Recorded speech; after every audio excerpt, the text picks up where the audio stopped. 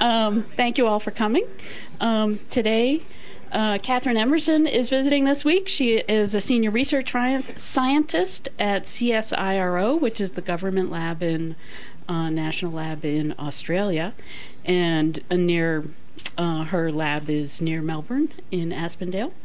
She got her PhD in 2002 in Lancaster with Rob McKenzie, and then did um, the postdoc, research assistant, lecturer at York University with our friend Matt Evans, among other people, and then um, was also a research fellow at Leeds, working with uh, Ken Carslaw and various, various people, people, and uh, is now has now been in Australia for several years, four years, mm-hmm. and um, so today she's going to tell us about um, Megan and biogenic emissions in Australia.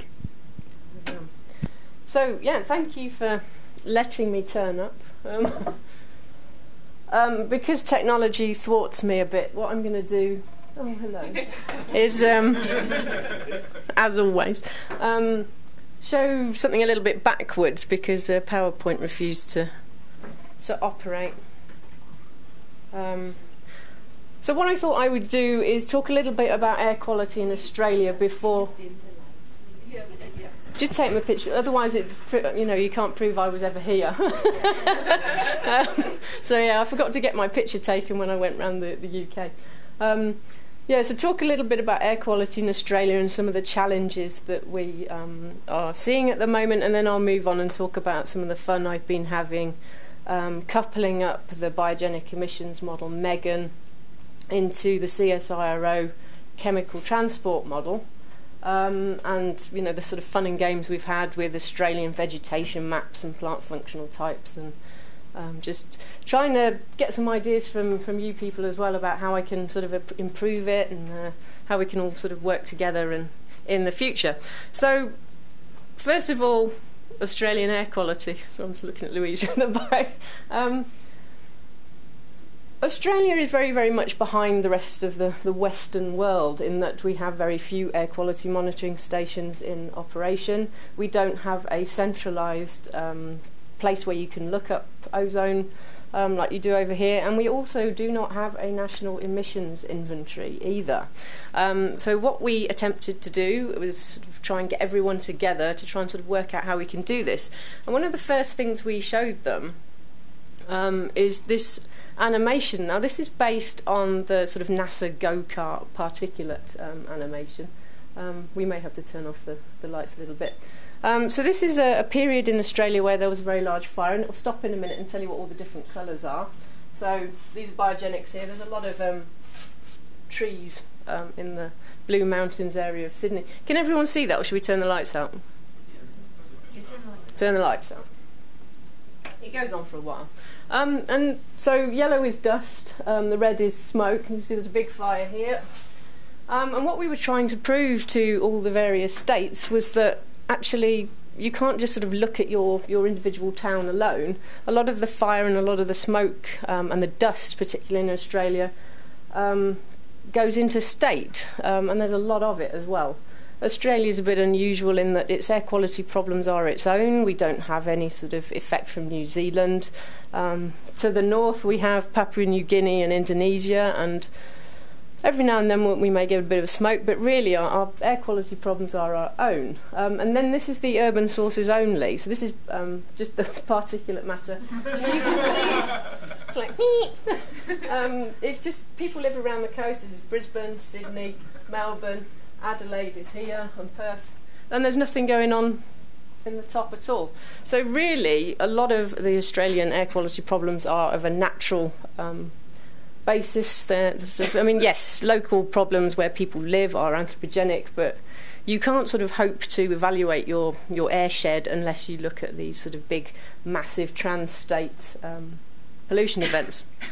Right, enough of that. Um, let's move on with said presentation.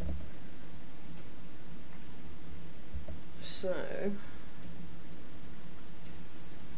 okay, right. So I've already said that because I had to move uh, on slightly. So this is Australia. Um, these are the seven states um, and territories um, in Australia, and it's it's basically sort of divided into two. The resources are divided into two. So we have New South Wales here, Melbourne here. They have all the resources, and then there is the rest of Australia. Um, generally, the EPAs, um, particularly in Perth and Adelaide. I mean, we couldn't even make contact with anyone in the Northern Territories. Um, nobody there. Um, they might have sort of one person that works on things like air quality, but also on water and waste. They're not sort of specific air quality people. Whereas in Melbourne and New South Wales, they may have one or two people that, that work on air quality. Um, so this is this is part of the problem in that um, the southeast has all the money. So we were trying to sort of, what can we do if we pull it all together? So I've shown that animation. Um, and at the moment, the Australian government is looking at um, altering its um, environmental air quality standards. Um, we just had a change of government, unfortunately. They've gone to a conservative climate, sort of denying. Um, I shouldn't say this, this has all been recorded. Um, climate denying sort of uh, government, um, but they are looking at air quality, and, which is a, a, good thing. But what we're hoping to push them towards is this exposure based um, uh, air quality standard where particulate matter has no um, safe threshold. Um, so we'd need to sort of work out some sort of way of of putting on this this exposure standard, looking at health um, in Australia. Um, so we set up this symposium and we invited every single atmospheric chemist that we could think of in Australia, and this is they. Um, there's not that many of us. Um, so Robin Schofield's there, if anyone remembers Robin Schofield, um, and Claire Murphy from, from Wollongong. Um, but that's it. It's sort of there's 69 people there, and that is the um, extent of air quality expertise in Australia. Um, and the sorts of things we talked about when we pull some money together is what are the current knowledge gaps in Australia, um, particularly with the sources and sinks of these uh, air pollution problems? How might they be addressed? the methodologies to conduct health studies. And also, interestingly enough, if you ask, say, the Western Australian um, EPA how they count uh, traffic emissions, it might be completely different to how New South Wales count their traffic emissions. So we need a standardised um, methodology to, to even do that. Um, tools to develop a robust exposure reduction framework um, and the mechanisms to develop this sort of national coordinated framework. We also, I mean, I went back to the UK to talk to the UK air quality expert group. We might try and set up some sort of advisory um, group to sort of advise the ministers in Australia because um, we don't have one of those either. Um, so you can see there's a lot of challenges. Um, and this is the um, state of what might be the national emission inventory, the, the anthropogenic emission inventory. Um, it's very coarse. Again, there's nothing going on in the middle, there's nothing going on at the top. Um, the most modern inventory is Sydney, which the latest one was 2008. Melbourne's is 2006. Um, the one for Adelaide and Perth is probably, you know, come out of the 1980s, 1970s um, and, and then there's Brisbane as well. So really, we, we need to sort of kickstart this um, and get it going. And what we aim to do is have this whole process to policy system, a modelling system going on where we go right from the emissions at the top there to our chemical transport modelling and, and, some land use regression, which helps us um, look at the very, very high resolution, um, sort of almost road scale um, modelling. Um, we have very, very few air quality monitoring stations in Australia, but those we do have, we're going to try and sort of blend in with the, the modelled data to try and get some sort of optimal concentrations, and then move through into this, this health exposure um, studies to get health effects. So we need to do exposure modelling, we need risk factors from the epidemiologists, and then this can all feed back, you know, into the cost benefit into into the emission inventory again. And just the last slide on this now is um, we asked the jurisdictions from each of the states, you know, what their main problems were, and a lot of it is fire and dust. Um, we have big problems um, with wood heaters. Um, one of our other problems is, as you know, Australia burns in summer. Um, so there is a remit in particularly Victoria and New South Wales that they must burn 5% of their um, of the whole land mass to try and prevent the massive wildfires from going through. But of course, this really annoys the locals as well because there's smoke in the airshed. Um, and then just other things that all of us consider. You know, should we go from PM 2.5 to the ultrafines? Can we measure that? Um, source apportionment, secondary particles. So you can see there's a lot of challenges um, in Australia, and I'm sort of at the moment a bit of a one woman band trying to um, sort it all out. But um, if anyone wants to help, come and uh, come and speak to me. So, fun with Megan. Um, so, a couple of years ago, Louisa and Christine came down to uh, Aspendale, and I had a chat with. Uh, with Louisa, and she said to me, uh, "We've got this new version of Megan. Why don't you try and sort of put that into the into the Australian global model?" And I said, "Well, I, I don't really work on that, but I might uh, might try and put it into our our regional chemical transport model." Um, so this sort of started a a bit of a well, a bit of a, a fun hobby project for me. Um, so I mean, I guess I'm preaching to a converted audience already, but the importance of biogenic VOCs are that they um, they are huge um, sources of organic aerosol worldwide. Potentially about sort of 87% globally of all secondary organic aerosol comes from biogenic sources. And then through the, the process um, on the on the screen there, you can go from gas phase substances um, through oxidation, you can make secondary organic aerosol. Now, the interesting thing about Australia is that we have a lot of eucalypts, and eucalypts are different from other sort of trees and plants in that they are huge isoprene emitters. Um, and we have a lot in the, the southeast, as I said. Um, in fact, in Alex Guenther's paper of uh, 2006, he actually pointed out that Australia was a, a global hotspot of isoprene emissions. So with this little bit down here. Um, you can see from the scale there that it goes all the way up to sort of 16 micrograms per metre squared per hour as an emission factor. And if you look sort of globally there, there's a real sort of red spot around Sydney. Now, we have some blue mountains down there, and they are blue for this very reason. You create a lot of ozone from the, uh, from the isoprene. Um, and this is just a, a blown up bit of Sydney. Um, Sydney's um, quite interesting. It's got this sort of funny T-shaped bit where all the the population lives. So sort of watch out for that later in the in the maps that I'm going to show. But yeah, these are the blue mountains around here. So the airshed of Sydney does have a lot of biogenics in it. CSIRO ran a particle um, campaign just west of the, the Sydney um, CBD.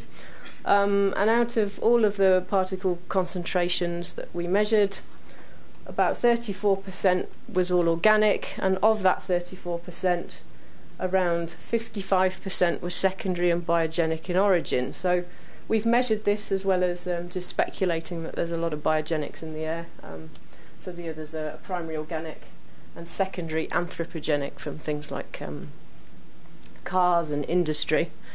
Um, so there was need for a model. Now we do actually run um, a very simplified um, version of um, a biogenic scheme in our chemical transport model. Um, I'll show you sort of what it does in a minute. Um, but this is how Megan works. So this is um, Alex's 2012 paper, where you, well, I mean, you know all this. It came from NCAR. so you take in a leaf area index. Um, it also takes in things like plant functional types. You can also provide it with emission factors.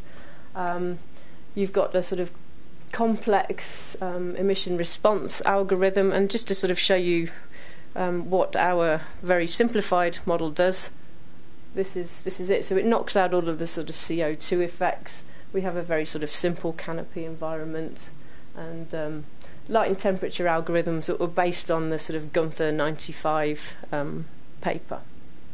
So you just toggle between the, the two, you can see what what gets knocked out. So what I'm trying to do here then is is compare the two, um, and obviously the the in-house model has been tuned with a few measurements that were made in Australia, but again, most of them are in Sydney. There was one um, campaign done in Perth, but that was a while ago. I haven't got those uh, measurements. Um, so again, it's sort of coastal coastal measurements. Um, so this is uh, the CSIRO chemical transport model. It's sort of been built in house over about 20 years by uh, Martin Cope and more latterly myself. Um, has offline uh, meteorology, which we run from a stretched cubic conformal atmospheric model, which is that picture there on the over there. Can't tell my left from my right.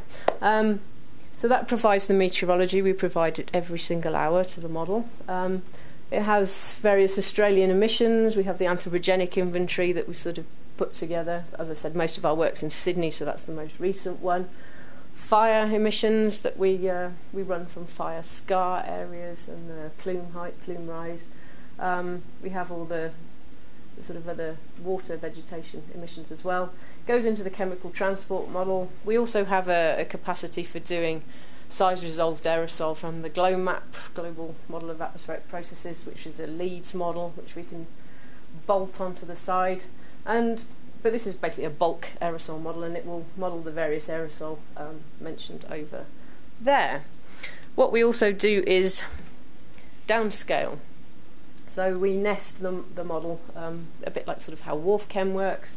Um, we will take global boundary conditions, provide them to an Australia wide grid, which is done at about 81 kilometres resolution. Within that, we will nest, we go down by factors of three.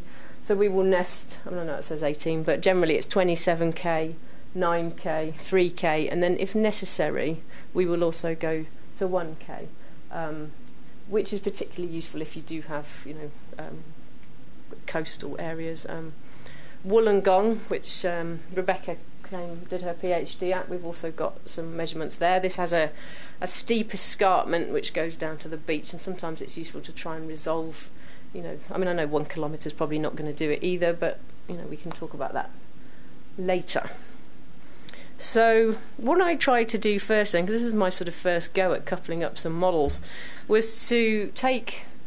I lifted Megan basically out of WRF, uh, you know, the WRF-Chem CLM version and then reattached it to our cubic conformal atmospheric uh, model, which provided it with the the PAR with all its um, temperature and uh, humidity needs. So I just ran it for 24 hours just to, to plot this sort of emission map. Um, so this is just um, at 80 kilometres. This is isoprene in molecules per second at one o'clock on February the 15th. So February is summer. I know it's a little bit different because we're upside down. Um, so yeah, tested offline. I was I was pretty happy with that. I mean, I'd got it to do something. Um, Jenny Fisher, very graciously, she's also at Wollongong, but used to be a, a Harvard um, GEOS-Chem modeler. Also ran GEOS-Chem for the same day on February the 15th, I think it was, 2011. Um, and her plot of a 24 hour average is on the right, mine's on the left. Um, and at first, you know, I thought, ooh, you know, this, this looks a bit different. Um, my maximum goes up to 105 micromoles. Jenny's goes up to sort of 20 micromoles. And Alex said to us, well, why don't you try adding them up? And I, this hadn't occurred to me. Um, and when we did that, um, I ended up, we ended up with about a 10% difference, which we thought wasn't bad. And you can also see there there is sort of, you know, there are differences. We are using very different sort of uh, plant functional type maps and other information. Um, but generally, I was pretty happy that um, that this was working um, and that I could move forward and try and get Megan going online. Um, yeah. Now, why am I trying to do this when we've got an in-house scheme? Um, it's basically we're trying to sort of future-proof um, the model. Our current biogenic scheme will only output a bulk monoterpene emission. It will only output isoprene. So Megan potentially can give you 150 different compounds, um, provided you have the, the, the emission factors for them. Um, and as I said, I've got some PTRMS data from the Sydney particle study. I've I quite like the PTRMS because it lumps um, compounds together. Monoterpenes will all come out at 137 uh, mass. Actually, I can't remember what the units are. M, M over S, I think it is. Um, although I have since been told that furans also come out at 137, um, but more about that later. So, one of the problems I ran into was, was resolution. So on the top, I've got the emission factor map. This is um, for isoprene, and as I said, we go from 80 kilometres, you know, down to three kilometres. So you could downscale the emission factor map. You know, it, it looks fine. And again, this is this T shape. I was on it's on its side um, of Sydney. But the plant functional type map that I uh, stole from um, the what's it, the, the data repository um, at NCAR was at a half a degree resolution. Um, so, just an example, this is the broadleaf evergreen temperate trees, so most of them are down the sort of the southeast coast of Australia. But when you, you try and downscale that to three kilometres, what you end up with is around five or six boxes, um, which then you know really sort of mess up your one kilometre um, run. Because even if you superimpose this onto this, it still ends up quite blocky. Um, so what I tried to do was try and find another way of doing the plant functional types in Australia, and this is where I've really run into problems. Um, and I've been talking to Christine about this. Um, so this is the the International Global Biosphere Project um, map. Um, you can get this globally. It's at one kilometre resolution, um, and as you can see, you have 17 different plant functional well, land cover type, sorry. And what I needed to do was try and convert these into the NCAR plant functional types, of which there are 16, and you need to work out what's a broadleaf tree, what's needle leaf, what's a shrub, um, and what, what's grass as well. So I um, took some advice from a paper that was done here a while back. Oh, I can't remember when it was actually. Um, Bonan et al. I think it was about in the 90s sometime um, where they had pretty much done a similar thing um, to try and convert into these 16 plant functional types. Um, I also took some advice from somebody also at CSIRO who had tried to do the same thing. Um, one of the ideas was because um, you're basically trying to chop it up into tropical, temperate, and, and, boreal. We don't have any boreal in Australia, but you could do that by latitude. But you end up with you know very very hard lines in your in your PFTs. Um, so the one thing that we tried was to take an, a seasonal average minimum temperature for uh, for Australia and and basically chop it up into you know if your minimum temperature was sort of less than 15 then you know you were probably temperate and if it was more than 15 you were going to be tropical. Um, so we did it that way and what I ended up with in Sydney for just as an example here at one kilometre um, no sorry that's three kilometres um, is this sort of picture. And Now, again, we've got this funny T shape, but this here is the urban spot, so it's missing, um, which possibly isn't too good. Um, and I also um, ended up putting in a little bit of bare ground, um, as the Bonan paper suggested as well. Um, generally, it's not perfect, but I'm going to go with it. So, just to look at some average spatial plots from the two field campaigns that we did in Sydney. So one is summer, February 2011, and the other one was heading towards you know late autumn, winter, um, April, May of 2012. So this is isoprene. It's on the same scale so that you can see the difference. Um, so over here we've got the sort of blue mountains. Right over in the corner there is where the orography gets um, gets quite high, so the temperatures are lower um, and so you don't get the isoprene emissions that you'd expect, say, from the Blue Mountains. But I was pretty happy with that. Um, and again, in, in late autumn, um, it's very, very much less. Um, so this is now for monoterpenes. The scale now is at 1.3 parts per billion, um, and you do get more of the monoterpenes, which um, which still prevail in winter. They don't have the same sort of emission patterns as, as isoprene. And then I also have plotted methanol, which looks like this. Again, very similar. I've got the, the contours of the heights um, plotted on here as well, which sort of really helps you see where the, the isoprene is constrained, where, where you've got um, higher um, surface area. But you've also got this um, this rather alarming massive spot of methanol that um, appears just just to the south west of the, the CBD. Um, and this actually is a big factory. Um, this is an emission map of methanol, and sure enough, there it is. So I'm not quite sure what this factory does. It's um, maybe sort of paint or, or something like that. But yeah, it emits an awful lot of methanol. So as a time series, and I'm not going to show you loads of time series because they're boring. And also, I decided because it was biogenic, I would plot it in green, and that, with hindsight, was a mistake. Um, so what we've got here is 2012. Um, just because there was more measurements, you know, obviously you go in summer expecting to get loads of measurements, and then your PTRMS breaks down. So PTRMS is in black. This is isoprene. So it peaks peaks up here at around sort of four and a half, five parts per billion of isoprene. The original CSIRO model is in this sort of turquoise um, colour, and it seems to do a fairly good job. My um, first sort of go with Megan is the the green line. Um, as you can see, it sort of well, it disappears off the top, and more about that later. Um, I get a lot. So I also try to run with the original PFTs, um, you know, the big sort of half a degree resolution, which is down here in this dotted line, and it it flatlines almost. So I do need to do something about the plant functional types. So that's what that told me. So as I said, I'm not going to show you loads and loads of these um, time series for all different species because it's terribly boring. But what I am going to show is some of these um, quantile quantile plots. Um, now these are where you, you pair up the data um, by time, and then you just simply rank it, you know, between um, low to high, and it, it, sort of tells you where you're starting to diverge. So you plot the observations on the x-axis and the models on the y-axis, um, and this is the one-to-one line. So for isoprene, um, as, as, you saw from the time series, I start to take off, um, and I'm peaking there at about sort of 12 parts per billion, which is not not so bad.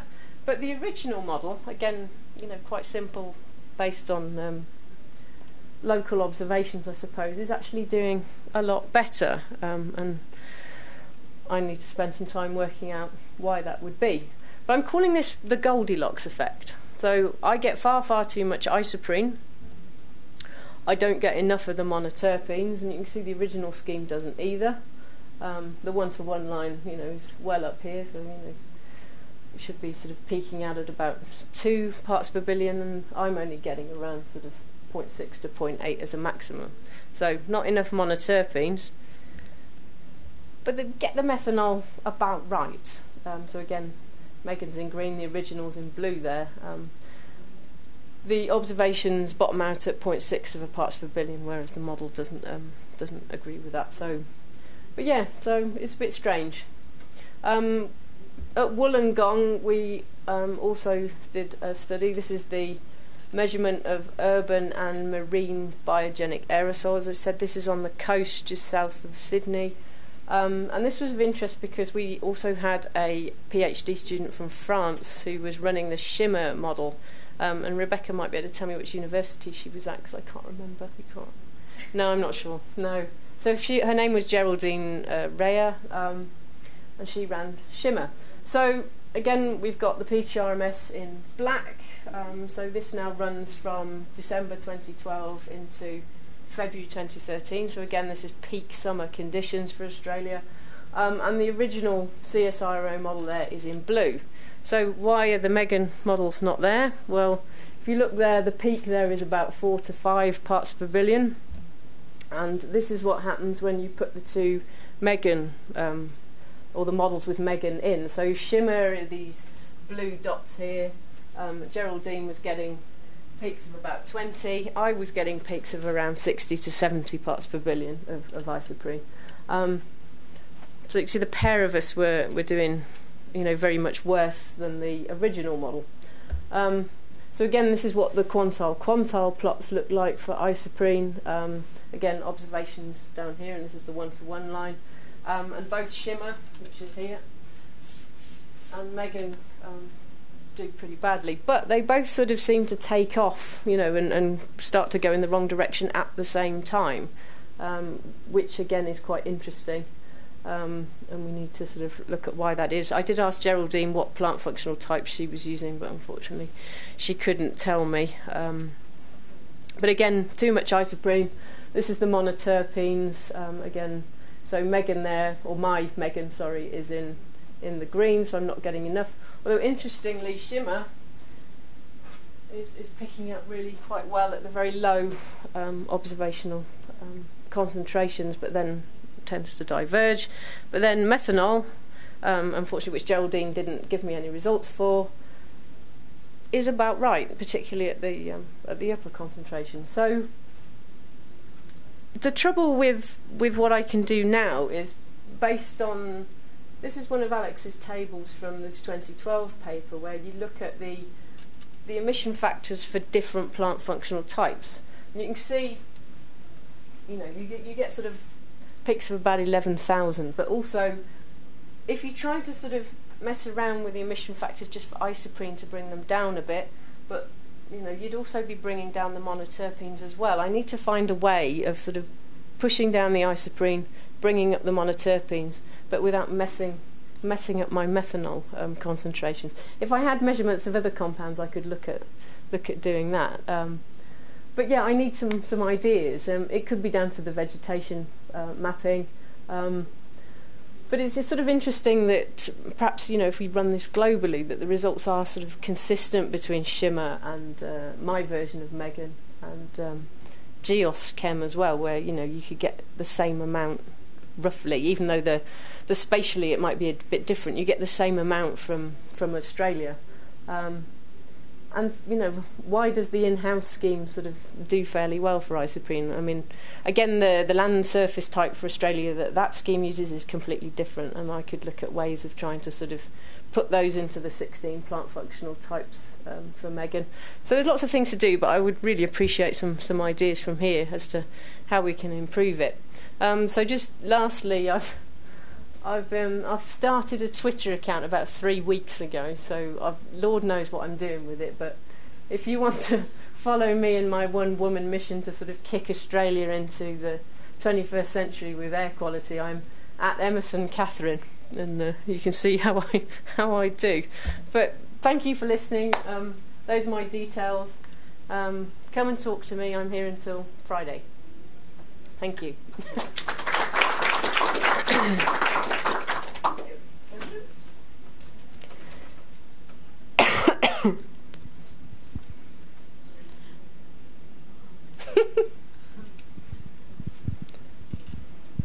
Hi, Kathryn. I just had a question about the emission factors that they have in MEGAN mm. are, you know, applied to evergreen tropical forests globally. And yeah. are there any specific emission factors that we could use for Australian forests? I know Alex and Andrew and Jim all went down there mm. to Tumbarumba and took measurements. And so yeah. we take advantage of that or where we know the eucalypts are, we could put in emission factors specific to yeah. that? Yeah.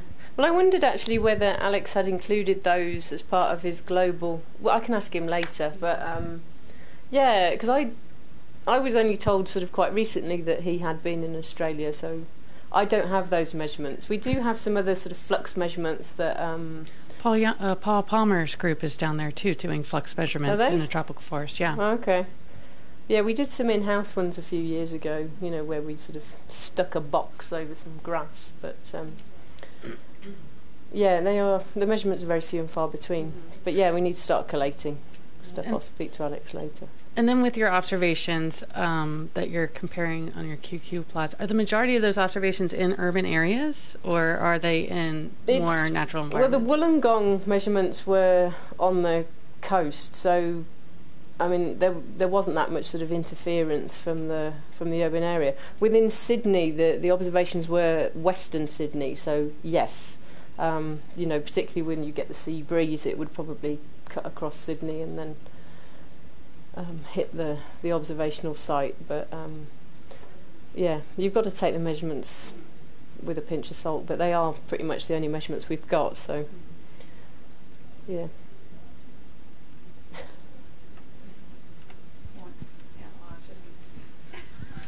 Sorry, if no Go ahead, yeah. I, just, I mean, dust is such a huge issue there too. What do you guys uh, include for a dust model, or how do you include um, dust? Again, this is not sort of my area, but we do have. It's based on soil moisture, so um, uh, and wind speed. Um, but I think it's one of the. I couldn't tell you like whose scheme it was, but yeah, it's a scheme that somebody's in, in the literature.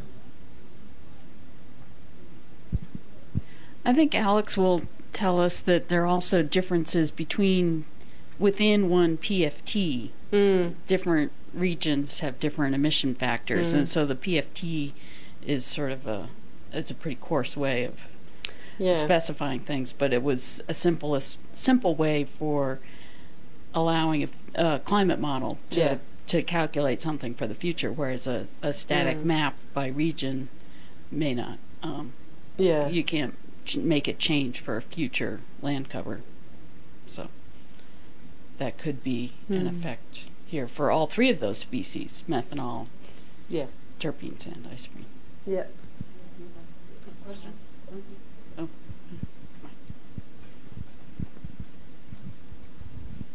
In the model results, what drives the really large increases in, in concentration? Is that source region, like PFT source, or temperature, or Um, meteorology?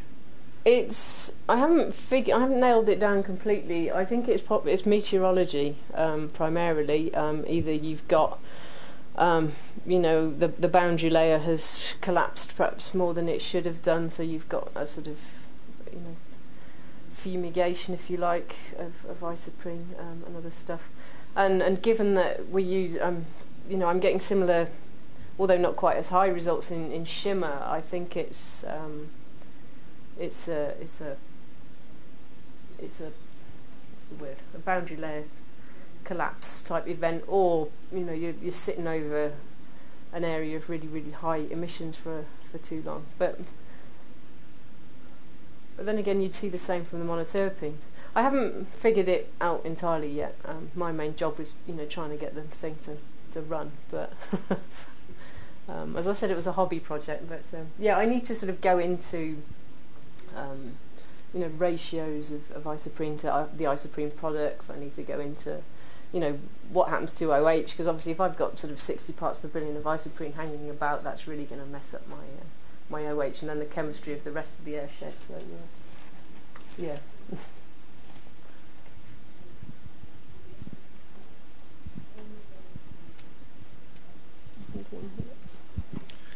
I don't know. Just just thinking.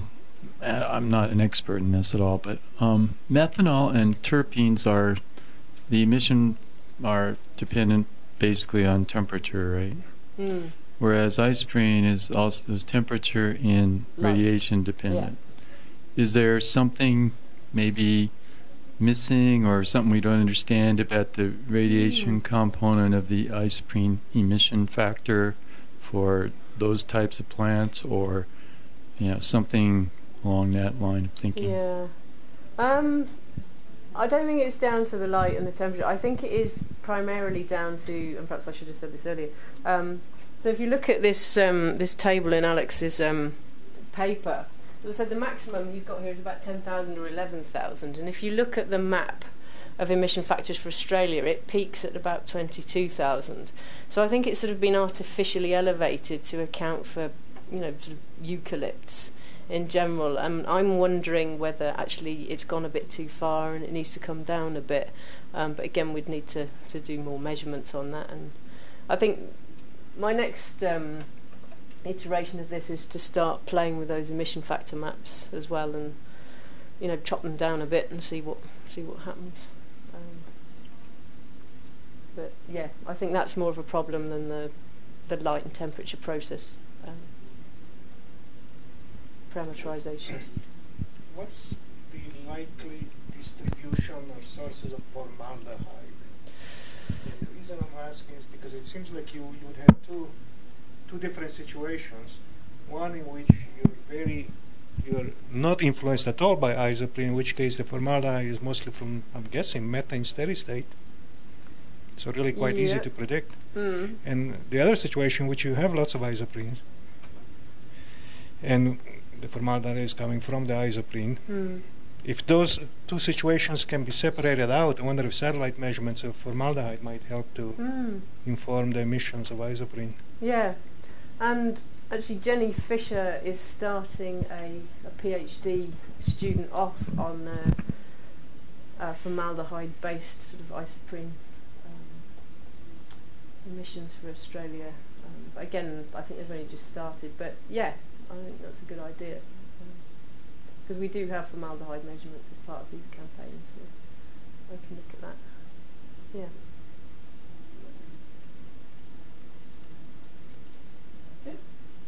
Thank you, everybody. Yeah, thanks for Um, coming. Kathryn's around for the rest of the week, um, sitting on the first floor.